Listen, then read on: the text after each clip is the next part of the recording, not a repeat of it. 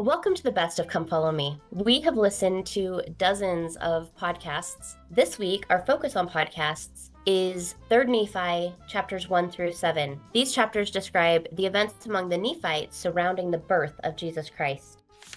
So, as we go through and listen to all these podcasts, sometimes we hear ideas or statements that we don't want to recommend. And we'll cover a couple of those now. As in previous weeks, a podcast claimed that Nephi failed to record any of Samuel's prophecies and was chastised by Jesus. Interestingly, this podcast put a scripture on the screen for every single discussion point except for this one, which is because the scriptures don't actually support this. So in 3 Nephi 23:11, and Jesus said unto them, Howbeit that ye have not written this thing, that many saints did arise and appear unto many and did minister unto them. Clearly, the only thing that was not recorded was that many saints did arise rise. We will link to a separate video that has some more detail on this topic. I think there's sometimes a tendency to want the prophets to be wrong or to do things wrong, maybe to justify that we're not listening to them today. Uh, you know, hey, prophets are just like us, but, but they aren't just like us. They're Nephi raised the, the, dead. That's not yeah. just like me.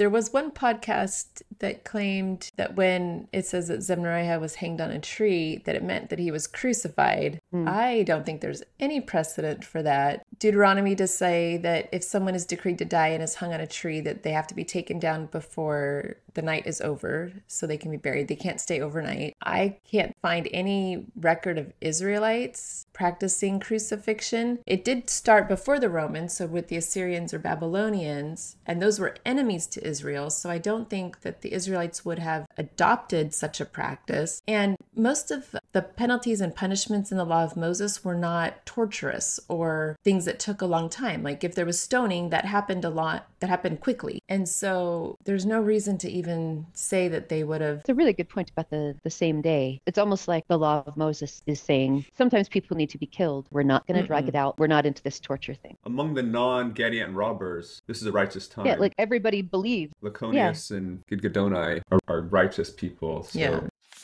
I used to read 3rd Nephi 1 and 2 the way that I heard it told in many podcasts this week. That is, you righteous people who are looking forward to the sign, and you have wicked people that are going to kill them. And the wicked necessarily come around because they see the sign. And then before you know it, they're all denying the sign in 3 Nephi 2. What we learn in 3 Nephi 122, true that Satan starts to send forth lyings, and yet the more part of people did believe, and they were baptized, and there was a great remission of sins. This is not mere mental assent uh, you got me. I guess there's no fighting it now. Well, sign me up for your group. It says they converted and had remission of sins.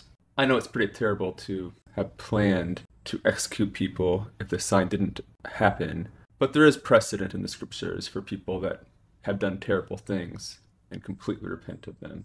So we shouldn't treat them as though they just went along with it, because that's not what it says here. Of course, there's scriptural precedent for people responding favorably to signs.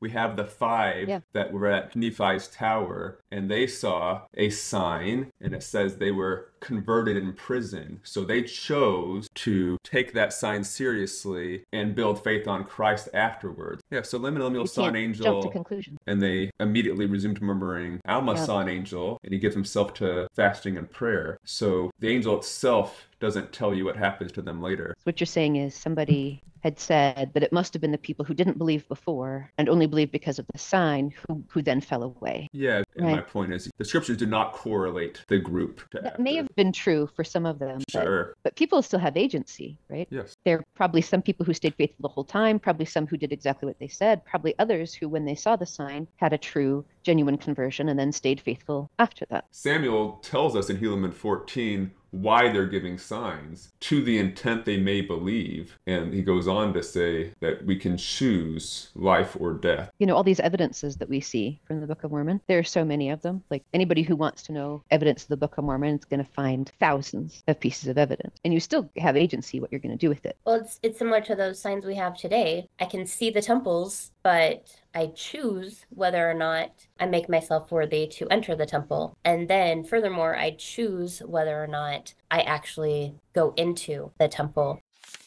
Please check out part one of our podcast where we each share our highlights, our favorite moments from the various podcasts and discuss them. This is a podcast I have listened to multiple times over the years because I really love the way that Ben Wilcox takes you through the personalization of this so we hope that this helps you in your personal study of the scriptures this week. If you're looking for a topic that we haven't covered yet, there are a lot of links below, so please check the description and follow our Savior. He loves you.